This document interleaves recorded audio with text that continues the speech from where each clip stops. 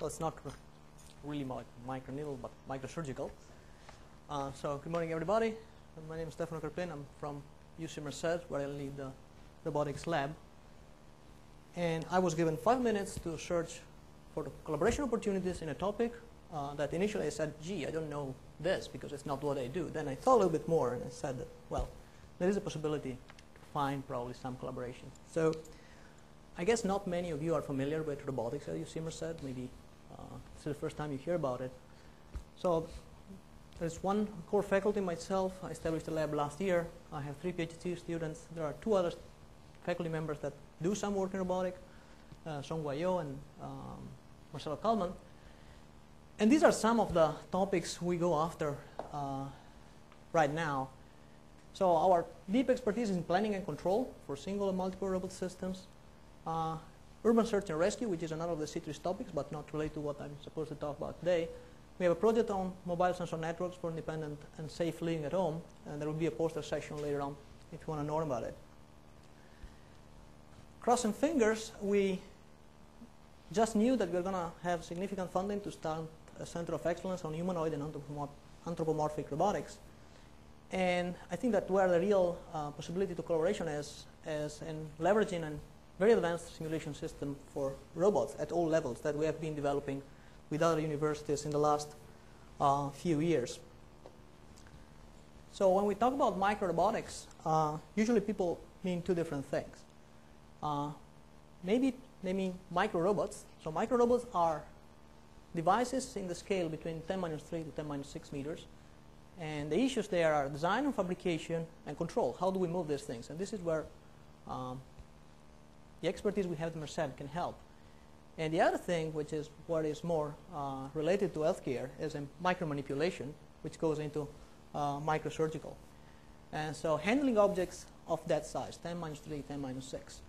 Um, historically, robots started as manipulating things. Uh, when you go down to that size, many th interesting things happen, but this is where it's very relevant for healthcare applications, eye surgery, plastic surgery, and so on. Um, what are the challenges for the roboticists in this area? Uh, the thing is that when you go very much into small, uh, the relative importance of forces change dramatically. So things that you usually completely ignore become relevant and vice versa. And so from the control point of view, if you have to control a micromanipulator, if you have to control a micro robot that moves in a fluid, for example, people talk about delivering drugs by having these micro robots, for example. Um, the problems turn out to be incredibly difficult uh, to deal with. They are almost all deeply nonlinear, hard to model, and so on. And at such a small scale, uh, things that robotics people usually take for granted, like sensing and actuation, assume a completely different meaning. What does it mean having a sensor on a robot that is 10 minus 3 meters? What does it mean to actuate such a robot? Uh, for the end user, it's also very different. Uh, you are controlling a thing you don't really see. You have some uh, strange interface to deal with. So it's really a challenge both for the designer for the end user. So what can we uh, go after? Uh, what can we offer at Merced? First thing is that um, we have extensive expertise in control of robots, uh, moving in the most bizarre environments, adversarial environments, uh, talking about robots moving in fluids, and so on. And specifically, if we talk about um, micromanipulation, most micromanipulation are limited to one or two devices. Uh, we have uh, extensive experience in uh, dealing with many robots at the same time. Um, so this is where I think we can um, talk with people. And then when I thought a little bit more is that, um, yeah, I knew that having a Mac in between would not be a good thing. Um, if we talk about um, using the micromanipulator, one of the big issues is in training the person to use it. Okay, what does it mean uh, to use such a system? And of course, I mean, training, if you are training with a real system, is very expensive, and you want well-trained people.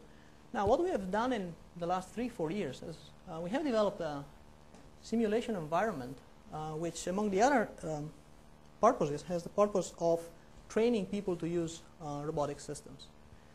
And by um, being a based on a commercial image and many other uh, things, uh, we really have developed a level of expertise where typically we give the simulator to people, they learn how to uh, drive the real robot. Then we have this approach, which is called swap and play, where you actually you don't tell them, but you change the backend rather than going to the simulation, you go to the real system, and it behaves exactly the same way. So this is a great tool that we have verified in practice to train people to drive real robots. And I see absolutely no reason why this cannot be a great tool to train people to work with uh, micromanipulators. Uh, the other thing is it allows to do very easily virtual design. What happens if I move uh, the microscope to a different position? What happens if I have two microscopes rather than one? What happens if I move a sensor to a position rather than the other one? These are all things that we have done for mobile robotics with great success. And people have turned out to change the design of their robots by using this um, simulation environment. Now, as I said in the beginning, and this is my last slide because I exhausted my five minutes, um, we don't have uh, this system in place for um, micro manipulation, but we can develop it. And to give an idea about the flavor, and I will let, about this system, I will let a little movie run while I conclude and I take time for questions.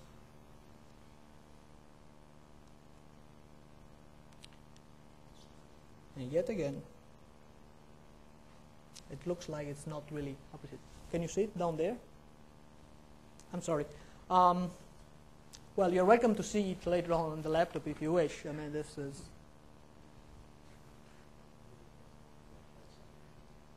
Yeah, it's the last one. Yep, last one.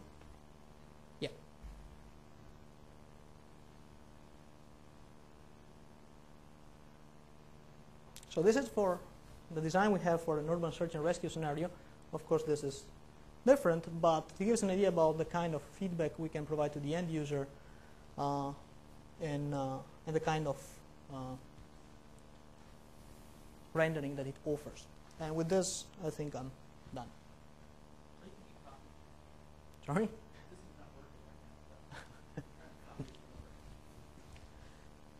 so, well, okay. All right, so you are encouraged to.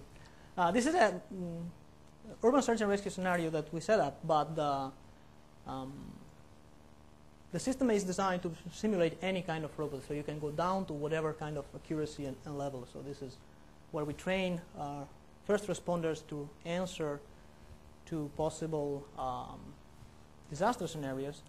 But I mean, we can of course place an eye wherever we want at whatever uh, scale we want. So actually,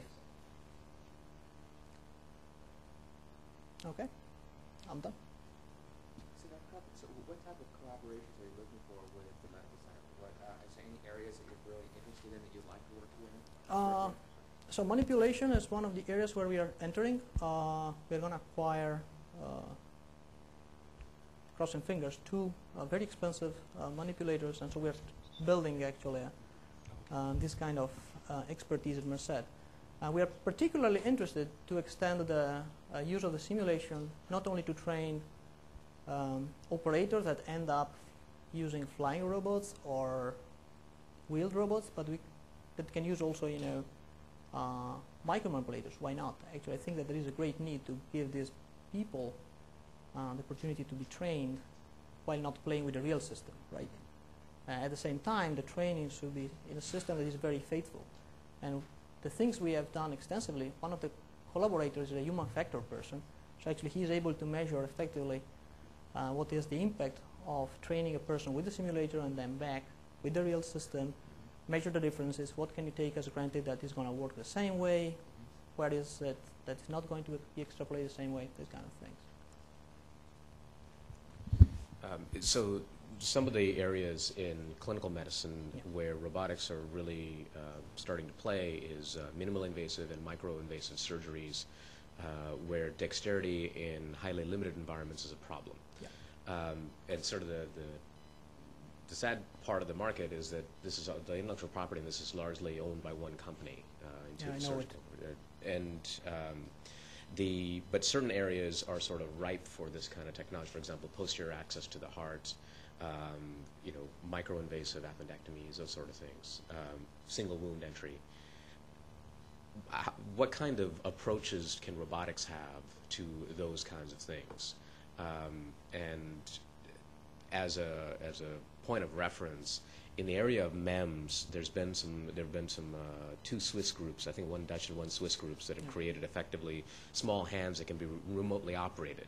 They're not robots, Yeah. But they are remote operation. They're wireless and untethered. Yeah. Uh, so that it essentially allows you to operate very small areas as if you had your hands in that, Yeah. that site. So I wonder if, if some of those might actually apply. Uh, yeah, so when we go to the very small, the concept of robot or actuation changes a lot. It's untethered, it's minimal, it's, it should be minimal invasive no matter what is the application because it's so, so small. Um, I'm aware of this, uh, I think it's ETH, yeah, uh, they had a pretty big coverage recently. Um, the kind of things we can do there, I mean, we don't do any hardware, but the, I think we're relatively skilled in, in terms of controlling this, these things. And so the modeling and the control part is something where we can actually provide our expertise.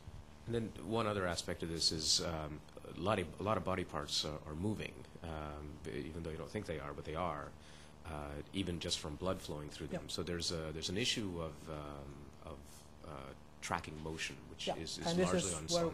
We have worked a lot. So when it, when it comes to move things from point A to point B, and things could be big robot or a micro needle or whatever, this is where we have developed quite a lot of expertise. So this is really uh, one of the open problems, by the way, but it's it is challenging and exciting. Yeah.